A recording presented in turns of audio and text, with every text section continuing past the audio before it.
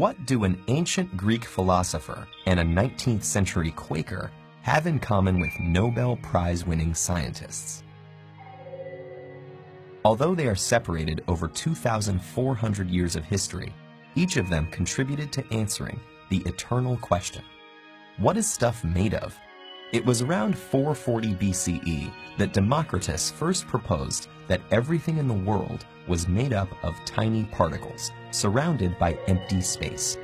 And he even speculated that they vary in size and shape depending on the substance they compose. He called these particles atomos, Greek for indivisible. His ideas were opposed by the more popular philosophers of his day. Aristotle, for instance, disagreed completely, stating instead that matter was made of four elements earth, wind, water, and fire. And most later scientists followed suit. Atoms would remain all but forgotten until 1808, when a Quaker teacher named John Dalton sought to challenge Aristotelian theory. Whereas Democritus's atomism had been purely theoretical, Dalton showed that common substances always broke down into the same elements in the same proportions. He concluded that the various compounds were combinations of atoms of different elements, each of a particular size and mass, that could neither be created nor destroyed. Though he received many honors for his work, as a Quaker, Dalton lived modestly until the end of his days. Atomic theory was now accepted by the scientific community, but the next major advancement would not come until nearly a century later, with the physicist J.J. Thomson's 1897 discovery of the electron.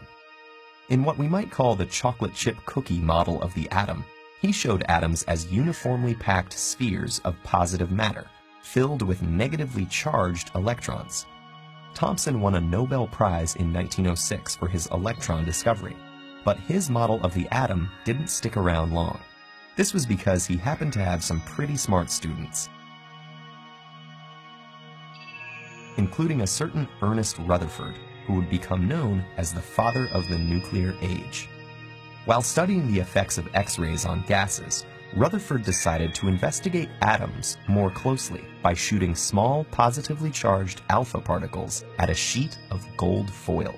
Under Thomson's model, the atom's thinly dispersed positive charge would not be enough to deflect the particles in any one place. The effect would have been like a bunch of tennis balls punching through a thin paper screen. But while most of the particles did pass through, some bounced right back, suggesting that the foil was more like a thick net with a very large mesh. Rutherford concluded that atoms consisted largely of empty space, with just a few electrons, while most of the mass was concentrated in the center, which he termed the nucleus. The alpha particles passed through the gaps, but bounced back from the dense, positively charged nucleus. But the atomic theory wasn't complete just yet. In 1913, another of Thomson's students by the name of Niels Bohr expanded on Rutherford's nuclear model. Drawing on earlier work by Max Planck and Albert Einstein, he stipulated that electrons orbit the nucleus at fixed energies and distances, able to jump from one level to another, but not to exist in the space between. Bohr's planetary model took center stage, but soon it too encountered some complications. Experiments had shown that rather than simply being discrete particles, electrons simultaneously behaved like waves, not being confined to a particular point in space.